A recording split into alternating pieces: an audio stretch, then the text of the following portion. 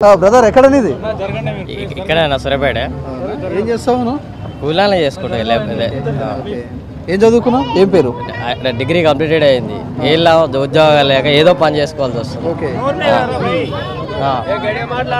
ఎట్లుంది? ఎలక్షన్లు వస్తాయి. మరి యూత్ ఎటువైపు ఉండరు? ఎట్లా ఉంటుంది? యూత్ అంటే ఇప్పుడు ప్రస్తుతానికి ఏం జాబులు లేక ప్రస్తుతానికి డిగ్రీ అయిపోయింది. ఉద్యోగాలు లేక ఏదో ఒకటి పని చేసుకుంటాం చేసుకుని చేసుకుంది అయితే వెళ్ళదు కదా. రెక్కాడ దగ్గర డొక్కాడదు. ఇవే ఇక అట్లా ఉంది పరిస్థితి ఇప్పుడు. ఎలక్షన్లు వస్తున్నాయి కదా లీడర్లు తిరుగుతుంటారు కదా వాళ్ళు మాటలు చెప్తూ ఉంటారు ఇది ఇస్తాము అది ఇస్తామని. నిజం కూడా అన్ని అమలు అవుతున్నాయా? ఇప్పుడు అది ఎవరి ఎవరిదండి ఆ బడ్జెట్ ఎవరిది? ఇప్పుడు ఇప్పుడు హామీలు ఇస్తాడు. మూడున్నర ఇప్పుడు బడ్జెట్ రెండున్నర లక్షల కోట్లు. అది ఇచ్చే హామీలు మూడున్నర లక్షల అప్పు.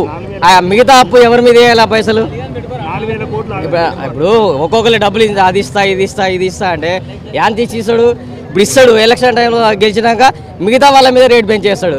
ఆ బీర్ల కానీ మందు కానీ దాని కానీ దీని కానీ అన్నిటి పెంచేస్తాడు. ఆయన ఇచ్చేది ఎవ్వరు లేరండి. ఎవ్వరు ఎవరి ఇంట్లో ఎవరు ఇయ్యరు. జనాల మీదే చేస్తారు తప్ప ఎవ్వడు ఇయ్యడు. వేస్ట్ వేస్ట్ బతకాలండి. ఏం లేదు ఆడ. లేటెస్ట్ గృహలక్ష్యం వచ్చింది. ఎవరికి ఇచ్చిరాయి? వంద మంది అప్లై చేసుకుంటే ఇరవై మంది ముప్పై మంది. ఎవరికి వచ్చినాయి? అధికార పార్టీ వాళ్ళకే ఇస్తారు అది. మిగతా వాళ్ళు ఏం చేయాలి మరి? ఏం చేయాలి? అంటే ఇప్పుడు అంత. వంద మంది అప్లై చేసుకుని వంద మందికి రావాలి. ఇరవై మందికి ఏ వచ్చేది ఏంది?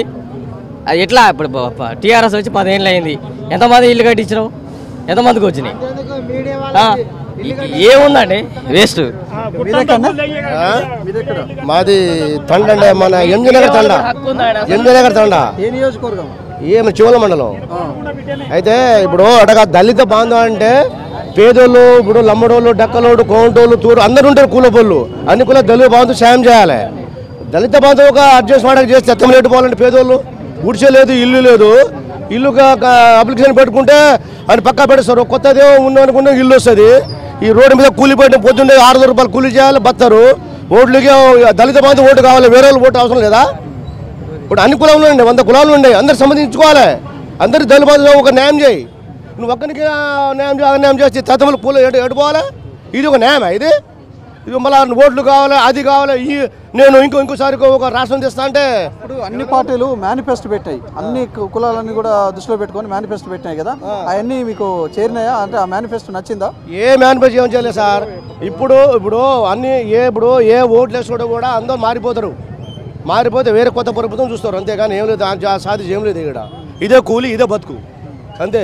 ఇదే లేను చాలా రోడ్డు మీద బతుకోవడం మొత్తం కూలి పనులే ఏం లేదు ఇంకోటి పెట్టండి. ఏ ఊరికి ఇంకోటి పెట్టి చూసుకోమనండి? మీ తండాలో ఎట్లుంటది? ఇప్పుడు ఎలక్షన్లు వస్తే ఇట్లా మళ్ళా నాయకులు వచ్చినప్పుడు మీరు ఏం చేసినామని అడుగుతారా? లేకపోతే సైలెంట్గా లేదు, ఓటేస్తారా అర్థం సార్. అర్థం ఇది విషయం అర్థం సార్. మీరు ఏం చేస్తారు ఏమి చూసి చూడండి చెప్తాం. అంతే మన వాస్తవం అది. ఏమని చూపండి చూపించమని చెప్తాం అట్లా అంతే అంతే సార్ అది. న్యాయం ఇప్పుడు చూడండి అన్యాయం ఇది. దళిత బాంధవం అన్ని కులాలు ఉంటారు సార్. కోంటోలు మాదుగోలు డబ్బులు తురుకోలు అన్ని జాతి ఉంది. అందరు పేదోళ్ళు మూల కూడా ఉంటారు అందరూ. వాళ్ళకు కూడా న్యాయం చేయరాదు ఒకరికి లక్ష రూపాయల లోన్ ఇస్తావు పది లక్షలు ఇస్తావు. ఇయర్ వాళ్ళు ఓటారు ముఖ్యమంత్రి అవుతావు ఈ విలువలు అవసరం లేదేగా? న్యాయం ఉండాలి ఇది న్యాయం కరెక్ట్ కాదు ఇది చెప్తున్నాం అంతే సార్.